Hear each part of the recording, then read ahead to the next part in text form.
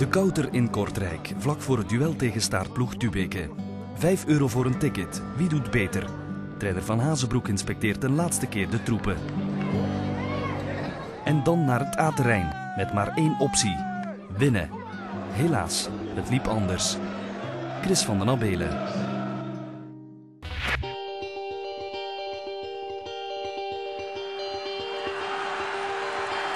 Hey, come on.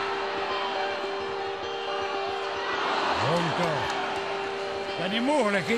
Have no fear for when I'm alone. Zijn ze moe? Ja, moe. Ze zijn plat. Het vat is af en ze hebben ook pech. Neem nu die vrije trap van Sven Kums. Als die bal zit, wordt het 3-1 en is de match gespeeld. Het is nog 20 minuten. Wat is uw pronostiek? Het staat nu 2-1. 2-1 2-1. blijven. Ja. Ja, nee dus. Het wordt 10 minuten voor afluiten 2-2. nights alive. Ik vind dat mijn spelers vandaag niet getoond hebben dat zij de goesting hebben om eerste klasse te blijven. En daar ben ik heel ontgoocheld over. Heb je dat ook gezegd nu? Dat heb ik er nu ook gezegd.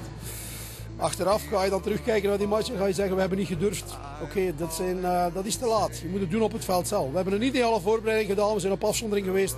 Alles was perfect voorbereid. Iedereen wist perfect wat te doen. Oké, ja, dan kan ik ze zelf er niet in shotten. I'm falling, I am falling, the lights go out. Let me Als je dan die laatste kans ziet van Barbossa, die moet altijd binnen. Maar als je die dan door feintjes wilt plaatsen, knal die gewoon tegen de net en een keeper kan er niks meer tegen doen. Maar gewoon een plaatsbalkje, ja, en dan pakt hij hem natuurlijk nog. Over naar de voorzitter. Zaterdagavond op die tribune meer dan ooit het leidend voorwerp van KV Kortrijk.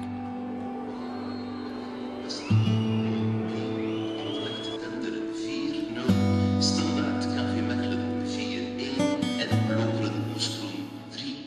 Maakt niet uit, hè. Dat maakt niet uit, je moet zelf winnen thuis tegen Tubize. Ik heb u zien afzien. Ja, omdat je, omdat je dat voelt aankomen. Hè. Als je weet dat je die derde, die derde goal laat liggen, Sven Kums, eh, dan weet je dat die tweede goal eh, dat je die krijgt. Hè. Wat is er aan de hand met dit elftal? Gebrek aan vertrouwen denk ik momenteel. Heel gecrispeerd voetballen. ehm, het is jong is er dan uit. Het is heel moeilijk en het is heel moeilijk om dat terug te zetten. Hè.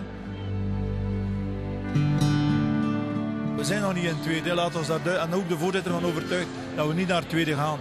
En als wij barragewedstrijden spelen, wij zijn niet kansloos. Hè. Verre van, laten we daar ook eerlijk over zijn. Maar wat mij eigenlijk heel erg op de maag ligt, is de situatie van Moskruno. Hoe kan een ploeg een licentie krijgen met 9 miljoen schulden? Dat begrijp ik niet. Dat begrijp ik niet. Zij hebben ook het budget naar volgend jaar toe. Als zij zeggen, we gaan zoveel ontvangsten hebben en zoveel uitgaan, wordt niet gecontroleerd op, op een realistische visie. Ik vind dat dat niet kan.